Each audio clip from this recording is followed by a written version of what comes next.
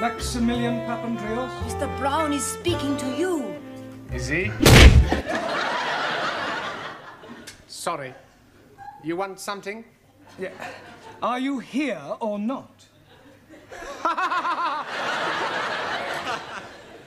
Well, sure, I'm here. Taro Nagazumi. Aso.